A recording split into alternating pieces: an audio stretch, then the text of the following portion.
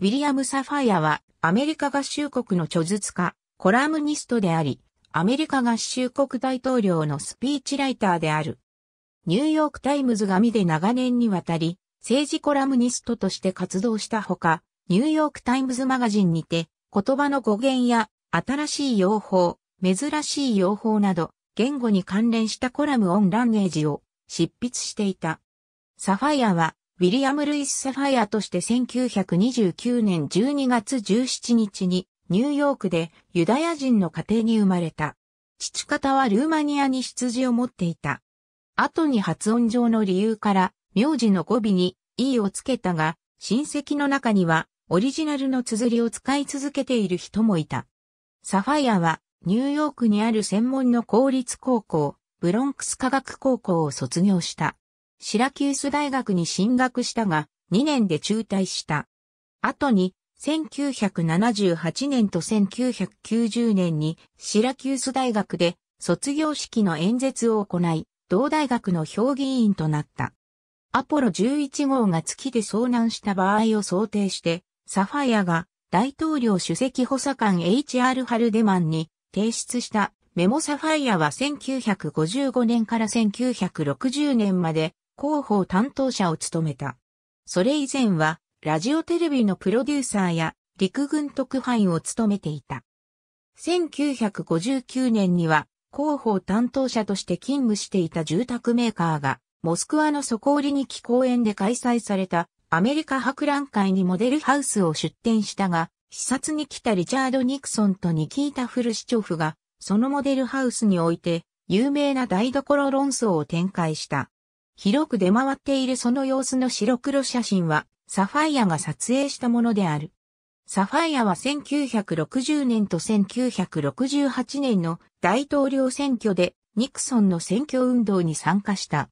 1968年のニクソンの勝利後、サファイアはニクソンと副大統領スピロ・アグニューのスピーチライターを務めた。アグニューの有名な言葉であるナットリング・ネイボブス・オブ・ネグティビザムはサファイアが生み出したものである。サファイアはアポロ11号の宇宙飛行士たちが月で遭難した場合にニクソン政権が取るべき対応を考え、そのメモを大統領主席補佐官 H.R. ハルデマンに提出した。このメモにはニクソン大統領がテレビで読み上げる意にイベントオブムーンディザスターと題した追悼文が記載されていた。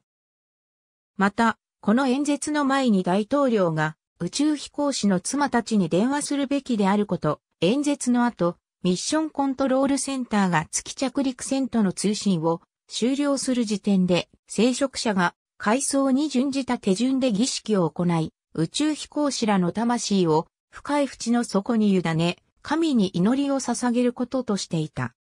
法輪ポリシー氏の2013年の記事の中で、ジョシュア・キーティングはこの演説原稿を最も優れた未発表の終末の日の演説の6つの中の一つに挙げている。サファイアは1973年に政治コラムニストとしてニューヨークタイムズ社に入社した。サファイアは入社後間もなく自分がニクソンの承諾のもとで国家安全保障の盗聴の対象になっていたことを知った。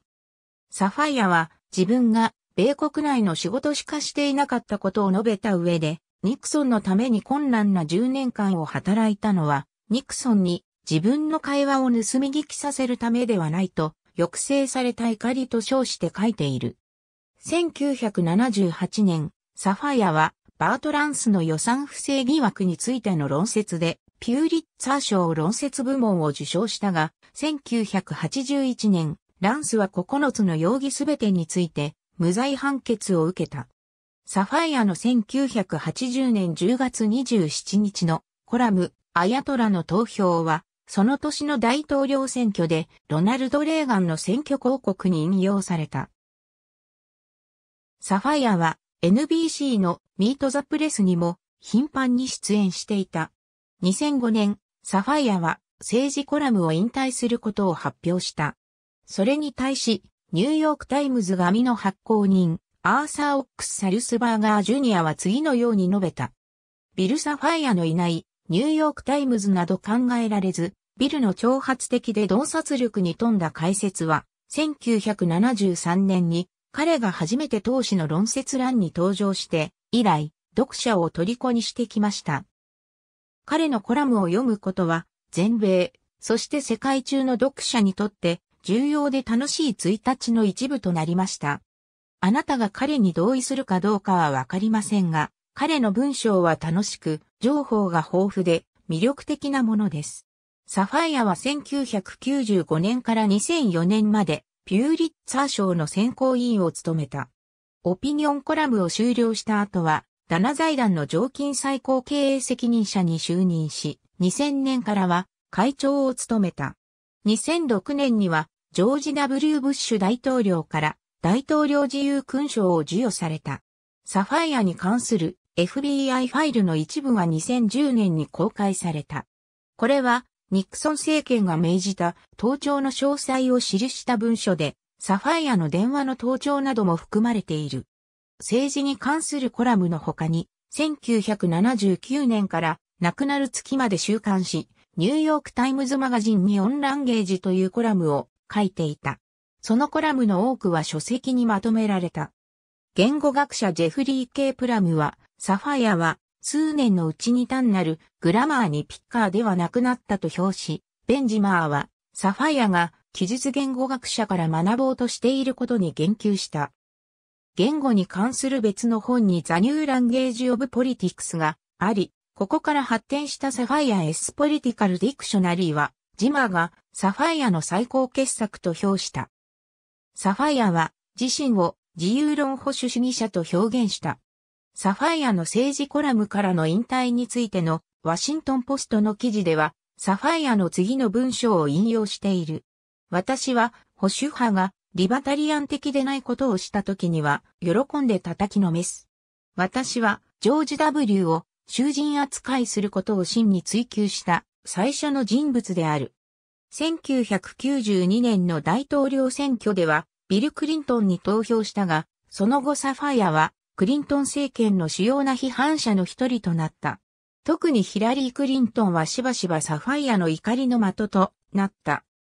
サファイアは1996年1月8日のエッセイでヒラリーの記録を見直した上で、ヒラリーは先天的な嘘つきであると結論付け、論争を巻き起こした。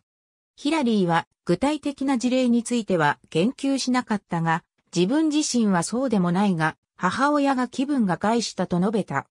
当時の大統領報道官マイク、マッカリーによれば、大統領は、もし自分が大統領でなければ、もっと強引な対応をしていただろうと言った言う。サファイアは、イラクとの戦争を求めた者のうちの一人で、迅速な戦争を予測して、イラク人は解放者を応援し、アラブ世界を民主化へと導くだろうと書いた。サファイアはニューヨークタイムズのコラムでイラクの諜報員がプラハで9.11テロの実行犯の一人、モハメド・アタと会ったことを議論の余地のない事実とし、CIA などの情報機関が異論を唱えていることを一貫して取り上げていた。サファイアはこの説は真実であると主張し、イラク戦争のためにこの説を利用した。サファイアはまた、解放された科学者が連合軍を査察官も見つけられない隠し場所に導くだろうという誤った予測もしていた。サファイアは一貫して親イスラエル派であった。2005年にバルイラン大学からシオンの守護者賞を授与された。ジョージ・ W・ ブッシュ大統領は2008年5月のイスラエル建国60周年記念式典に参加するためにエルサレムに同行する名誉代表団の一員にサファイアを任命した。サファイアはヘレネ・ベルマー・ジュリアスと結婚し、子供を二人設けた。サファイアは2009年9月27日、水癌のためメリーランド州ロックビルのホスピスで79歳で死去した。以下に挙げるのはサファイアの著作物の一部である。言語関連小説先週政治関連演説原稿。ありがとうございます。